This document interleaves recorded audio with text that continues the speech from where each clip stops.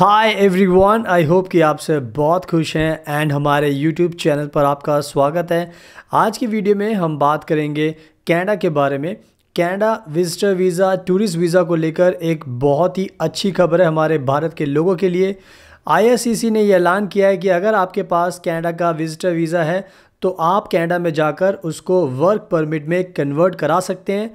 And आपके पास पूरे दो साल का टाइम है तो हमारे भारत के लोग जिनके पास ये वीज़ा है, वो इसका फ़ायदा उठा सकते हैं एंड आपको विजिटर वीज़ा को कन्वर्ट करा के वर्क परमिट मिल सकता है। तो मैं चाहता हूँ कि गुड न्यूज़ आपको ऑनलाइन दिखा दूँ, उसके बाद आपको सब कुछ समझ में आ जाएगा। So now you can see on your screen ये है गवर्नमेंट ऑफ़ कैनेडा की ऑफिशियल वेबसाइट और यहाँ पे इन्होंने अच्छे से अपडेट दिया, इसको पढ़ लेते हैं।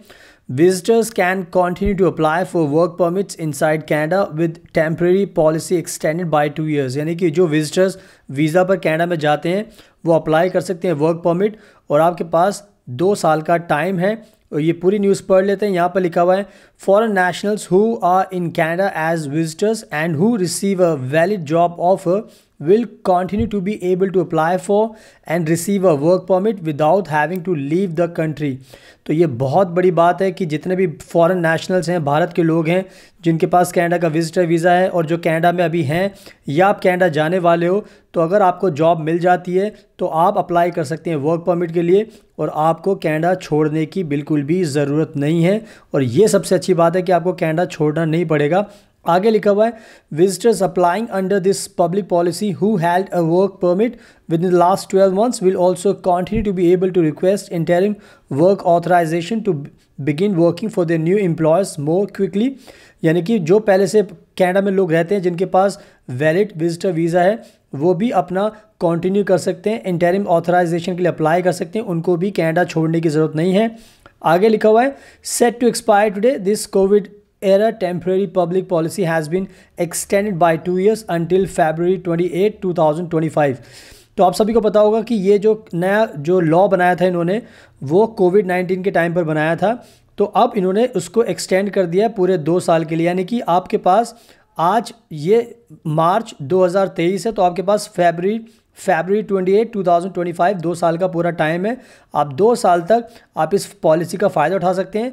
आप कनाडा का विजिटर वीज़ा अगर आपको मिलता है कनाडा आप जाइए और वर्क परमिट के लिए अप्लाई कीजिए और उसके बाद आपको कनाडा छोड़ने की ज़रूरत नहीं है। आगे लिखा हुआ है living this temporary policy in place makes visitors an option for employers in Canada as many are facing significant labour shortages during this period of economic expansion यानी कि इस पॉलिसी को आगे बढ़ाने का एक ही मकसद है कि एम्प्लॉयर्स जो कैनेडा के अंदर हैं, उनके पास लोग नहीं है काम करने के लिए। तो जो लोग विजिटर वीज़ा लेकर जाएँगे तो जो कनाडा की जो कंपनीज़ हैं, उनके पास ये बेनिफिट है कि उनको वो जॉब देकर कैनेडा में वो रह सकते हैं और उनको दोबारा इंडिया आने की ज़रूरत नहीं पड़ेगी, ताकि कैनेडा की जो इकॉनमी है चलती रहे और कैनेडा की कंपनीज़ को लोग मिलते रहें काम करने के लिए। तो ये बहुत ज़रूरी है। इसके अलावा आपको जो रिक्वायरमेंट्स है, वो मैं बता देता हूँ, जो आपको पढ़ना ज़रूरी है। आगे लिखा हुआ है to be eligible to apply an applicant looking for to benefit from this temporary public policy must यानी कि अगर आपको इस पब्लिक पॉलिसी का फ़ायदा उठाना है तो आपको ये जो कंडीशन है, इनको पूरा करना पड़ेगा। पहला लिखा हुआ है have valid status in Canada as a visitor on the day they apply यानी कि जिस दिन भी आप कैनेडा में हो आपके पास वैलिड स्टेटस होना चाहिए। ऐसा नहीं होना चाहिए कि आपका विजिटर वीज़ा एक्सपायर हो गया और उसके बाद आप अप्लाई करोगे तो नहीं माना जाएगा। यानी कि जिस दिन आप अप्लाई कर रहे हो, आपका स्टेटस भी वैलिड होना चाहिए। दूसरी चीज़ है, दूसरी रिक्वायरमेंट है have a job offer that is supported by a labour market impact assessment और an L M I exam offer of employment तो आपके पास दोनों ऑप्शंस हैं। आपके पास ये एक जॉब ऑफ़र तो होना चाहिए किसी भी कैनेडा एम्प्लॉय की तरफ़ से, चाहे वो एल एम आई बेस्ड हो या बिना उसके भी हो, उससे कोई फ़र्क नहीं पड़ता। बट आपके पास एक जॉब ऑफ़र होना चाहिए ताकि आपका फर्दर प्रोसेस किया जा सके। इसके बाद लिखा हुआ है an employ specific work permit no later then February twenty eight two thousand twenty five यानी कि अगर आपके पास जॉब का ऑफ़र है एम्प्लॉयर स्पेसिफिक वर्क परमिट है आपके पास तो आपको ध्यान रखना है कि अट्ठाईस फरवरी 2025 से पहले ही आपको अप्लाई करना है उसके बाद करोगे तो ये पब्लिक पॉलिसी उस टाइम ख़त्म हो चुकी होगी। तो 28 फरवरी 2025 से पहले करना है। आगे लिखा हुआ है meet all other standard admissibility criteria यानी कि इसके अलावा भी छोटी मोटी जो रिक्वायरमेंट्स होती है, वो भी पूरी करनी पड़ेगी। तो ओवरऑल देखा जाए तो ये भारत के लोगों के लिए एक सुनहरा मौका है कि वो कनाडा का विजिटर वीज़ा अप्लाई करें। जब वीज़ा मिलता है तो कनाडा जाएँ और वहाँ पर वर्क परमिट के लिए अप्लाई करें ताकि यहाँ से जॉब का कोई प्रॉब्लम ना हो और वहीं जाकर आपको जॉब मिल जाए एंड उसके बाद आपको वापस इंडिया ना आना पड़े। तो ये बहुत ही अच्छी पॉलिसी है एंड भारत के सभी लोगों का इसका फ़ायदा उठाना चाहिए ताकि आप कैनेडा में लंबे टाइम तक रह सके।